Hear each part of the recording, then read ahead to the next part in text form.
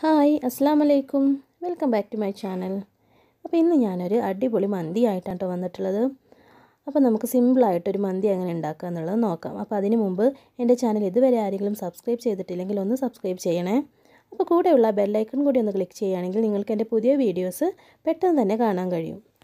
അപ്പോൾ നമുക്ക് നമ്മുടെ വീഡിയോയിലേക്ക് കിടക്കാം. അപ്പോൾ അതിലേക്ക് മന്തിക്ക് ആവശ്യമായിട്ടുള്ള ഇൻഗ്രീഡിയൻസ് എന്തൊക്കെയാണെന്ന് നോക്കാം. അപ്പോൾ ആദ്യം ആവശ്യമായിട്ടുള്ളത് ചിക്കനാണ്. അപ്പം ഈ ഒരു രീതിയിലുള്ള നാല് പീസാണ് ഞാൻ എടുത്തിട്ടുള്ളത്. അത് കഴുകി വൃത്തിയാക്കി വെച്ചിട്ടുണ്ട്. ഇനി വേണ്ടത് സവാള. ഒരു മൂന്ന് ഇടത്തരം സവാളയാണ് ഞാൻ എടുത്തിട്ടുള്ളത്.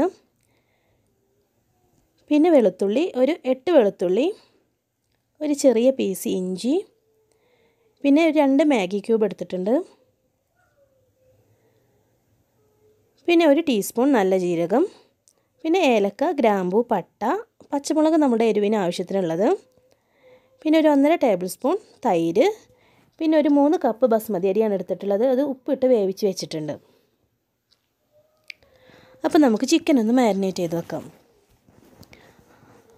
അപ്പം അതിലേക്ക് ഞാൻ ഇഞ്ചി വെളുത്തുള്ളി നല്ല ജീരകം ഏലക്ക ഇത് നാലും കൂടെ കൂട്ടി നന്നായിട്ട് പേസ്റ്റാക്കി അരച്ചെടുത്തിട്ടുണ്ട്. ഇതാണ് നമ്മുടെ മന്തിയുടെ സീക്രട്ട് ആയിട്ടുള്ള മസാല. അപ്പോൾ ഇതിന്റെ പകുതിയെ ഞാനിപ്പോൾ ചേർക്കുന്നുള്ളൂ. പിന്നെ അതിലേക്ക് ചേർക്കുന്നത് ഒരു ഒന്നര ടേബിൾ സ്പൂൺ തൈര് പുളിയില്ലാത്ത തൈരാണ് ഞാൻ എടുത്തത്. പിന്നെ ഒരു ഇത്തിരി കളറും കൂടെ ഞാൻ ഇതിലേക്ക് ചേർക്കുന്നുണ്ട്. ആ ചിക്കൻ ഒരു ഭംഗിക്ക് വേണ്ടി മന്തിയിൽ ഇട്ടാലൊരു ഭംഗി കിട്ടാൻ വേണ്ടി മാത്രം. പിന്നെ ചിക്കൻ ക്യൂബിന്റെ ഒരു പകുതി ചേർക്കുന്നുണ്ട്. ബാക്കിയുള്ളത് നമുക്ക് സവാള വഴറ്റുന്ന സമയത്താണ് ചേർക്കേണ്ടത്.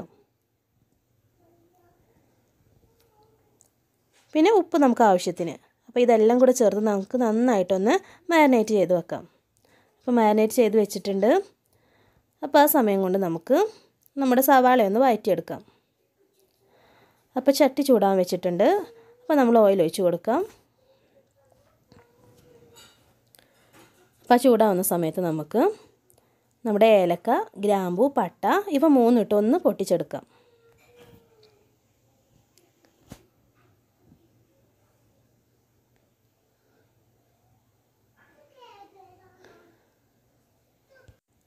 അപ്പോൾ ഇതൊന്ന് മൂത്ത് വരുന്ന സമയത്ത് നമുക്ക് സവാളയും കൂടി ചേർത്ത് നന്നായിട്ടൊന്ന് വഴറ്റിയെടുക്കാം അപ്പോൾ നന്നായിട്ട് സോഫ്റ്റ് ആവുന്നത് വരെ വഴറ്റാൻ ശ്രദ്ധിക്കണം കേട്ടോ. കാരണം നമ്മുടെ മന്തി അത്രയ്ക്കും ടേസ്റ്റ് ആകും നമ്മുടെ സവാള നോക്കുന്നതിനനുസരിച്ച്.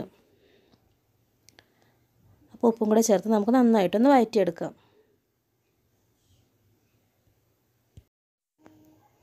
അപ്പോൾ നമ്മുടെ സവാള നന്നായിട്ട് സോഫ്റ്റായി വന്നിട്ടുണ്ട്. അപ്പോൾ നമുക്കിനി ബാക്കി കാര്യങ്ങളും കൂടി അതിലേക്ക് ചേർത്ത് കൊടുക്കാം. അപ്പോൾ നേരത്തെ നമ്മൾ അരച്ചെടുത്ത ആ മസാലയുടെ ബാക്കി. അപ്പോൾ അതും കൂടി ചേർത്ത് നമുക്ക് നന്നായിട്ടൊന്ന് വഴറ്റിയെടുക്കാം ഇനി അതിലേക്ക് ചിക്കൻ ക്യൂബ് ഒന്ന് കൈ കൊണ്ട് പൊടിച്ചിട്ട് അതും കൂടെ ചേർത്ത് കൊടുക്കാം. അപ്പോൾ ഇനി നമുക്ക് പച്ചമുളകും കൂടി ചേർത്ത് കൊടുക്കാം. പച്ചമുളക് ഞാൻ മുറിച്ചിട്ടൊന്നുമില്ല കേട്ടോ. അതുപോലെ തന്നെയാണ് ചേർത്ത് കൊടുക്കുന്നത്. എന്നാൽ പോലും നല്ല ടേസ്റ്റാണിത് ഇതൊന്ന് നന്നായിട്ട് വഴറ്റി കൊടുക്കാം.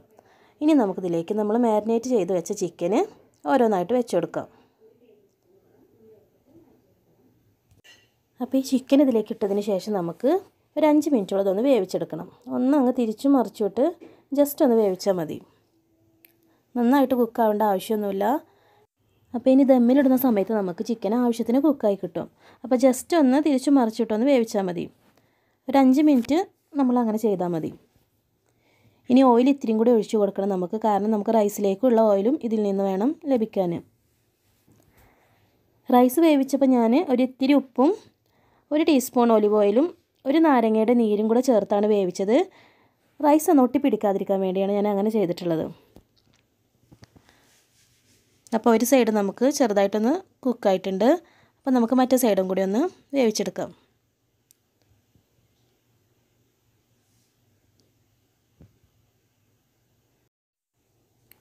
ഇത്രയും മതി കേട്ടോ. ഇനി ഞാൻ ഇതിലേക്ക് റൈസ് ചേർത്ത് കൊടുക്കുകയാണ്. അപ്പോൾ കുറേശ്ശായിട്ട് റൈസ് ചേർത്ത് കൊടുക്കുക.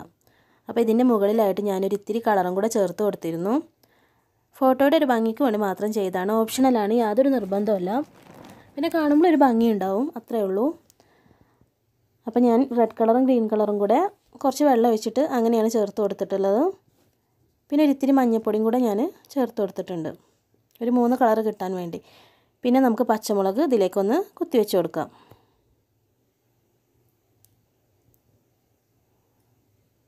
ഇനി ഇതിന്റെ മുകളിലായിട്ട് നമുക്ക് രണ്ട് ടേബിൾ സ്പൂൺ നെയ്യും കൂടെ ഒഴിച്ചു കൊടുക്കാം. അത് നല്ലൊരു ടേസ്റ്റ് ആയിരിക്കും.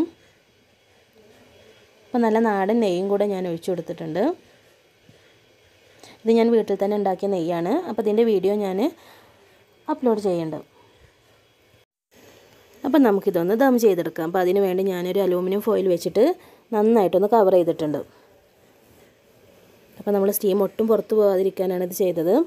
അപ്പോൾ നന്നായിട്ടൊന്ന് അടച്ച് വെച്ച് നമുക്ക് ഒരു ഇരുപത് മിനിറ്റ് ദം ചെയ്തെടുക്കണം.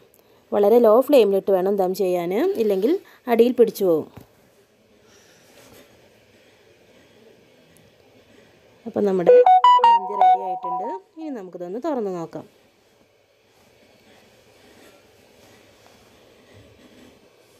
ഇപ്പോൾ നന്നായിട്ട് കുക്കായിട്ടുണ്ട്. നമ്മുടെ പച്ചമുളകിന്റെ കളറൊക്കെ മാറി വന്നിട്ടുണ്ട്.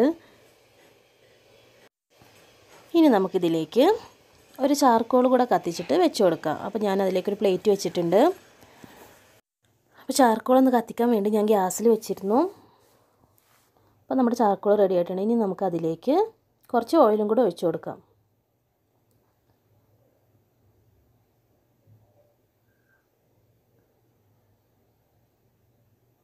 അപ്പോൾ നന്നായിട്ട് സ്മോക്ക് വരുന്നുണ്ട്. ആ സമയത്ത് നമുക്ക് പെട്ടെന്ന് തന്നെ അടച്ചു കൊടുക്കാം. ആ സ്മോക്ക് പുറത്ത് പോവാതെ ഒന്നങ്ങ് കവർ ചെയ്ത് കൊടുക്കാം. അപ്പം നമ്മുടെ മന്തി റെഡി ആയിട്ടുണ്ട്. നല്ല പെർഫെക്റ്റ് ആയിട്ട് വന്നിട്ടുണ്ട്. അപ്പോൾ നമ്മൾ ഒരു അഞ്ച് മിനിറ്റാണിത് സ്മോക്ക് ചെയ്യാൻ വേണ്ടിയിട്ട് മാറ്റി വെച്ചത്. അപ്പോൾ നമുക്ക് ഈ ചെയ്യുന്ന രീതി നമുക്ക് ദം ചെയ്യണ സമയത്തായാലും ചെയ്താൽ മതി. അപ്പോൾ ഞാനിതൊരു ബൗളിലേക്കിട്ട് കാണിച്ചു തരാം. അപ്പോൾ നമ്മുടെ മന്തി റെഡി ആയിട്ടുണ്ട്. നല്ല കളർഫുള്ളായിട്ട് ഇരിക്കുന്നുണ്ട്. ഗസ്റ്റൊക്കെ വരുമ്പോൾ കൊടുക്കാൻ പറ്റിയ നല്ലൊരു മന്തിയാണ്.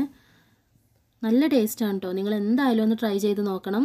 നിങ്ങൾ ഒരിക്കലെങ്കിലും ഇതൊന്ന് ഉണ്ടാക്കി നോക്കണം. നിങ്ങൾക്ക് എല്ലാവർക്കും തീർച്ചയായിട്ടും ഇഷ്ടപ്പെടും. സാധാ മന്തിയിൽ നിന്നും കുറച്ചുകൂടി ടേസ്റ്റുള്ള മന്തിയാണിത്.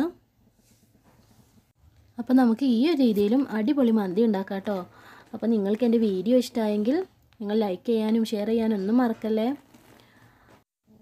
ഇനി നമുക്ക് പുതിയൊരു വീഡിയോയിലൂടെ കാണാം. ഇൻഷാല്ല അസ്സാം വലൈക്കും